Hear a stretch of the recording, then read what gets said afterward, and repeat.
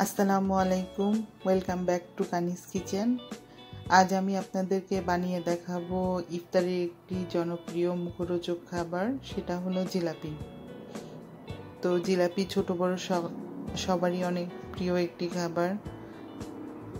এবং ফেসবুকে দেখলাম যে ভাইরাল হয়েছে খুবই জিলাপি, তাই ভাবলাম যে বানিয়ে ফেলি। তো প্রথমে যা যা উপকরণ লাগবে তা হলো ময়দা হাফ কাপ চালের গুঁড়া ওয়ান স্পুন লবণ সামান্য অরেঞ্জ ফুড কালার সামান্য।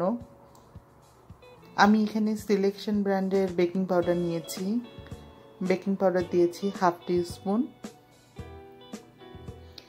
বেসন দিয়েছি টু স্পুন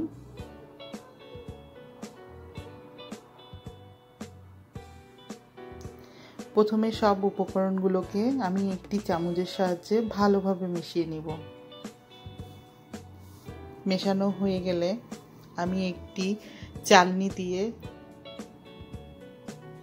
মিশ্রণটি চেলে নিব।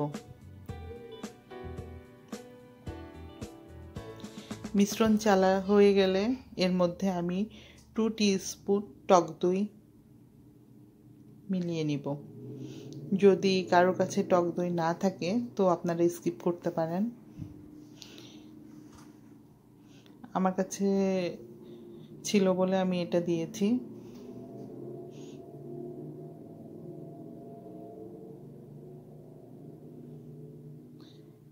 টক দই দিয়ে আমি ভালো মতো মিশিয়ে আমি হাফ কাপ মতো পানি নিয়েছি বেটার, বেটারটাকে তৈরি করার জন্য।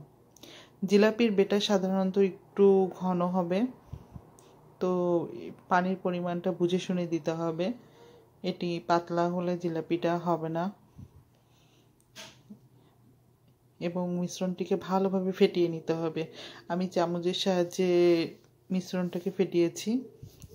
এখন সেকেন্ড স্টেপে আমরা শিরা বানাবো। শিরার জন্য আমরা এক কাপ পানি, আধা সরি এক কাপ চিনি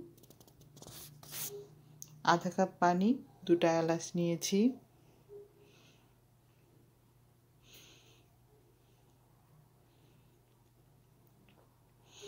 চুলায় আমি আস্তে জালে শিরাটাকে বসিয়ে দিয়ে আমি একটি প্লাস্টিকের বোতলের মধ্যে বেটারটাকে ঢেলে নিচ্ছি।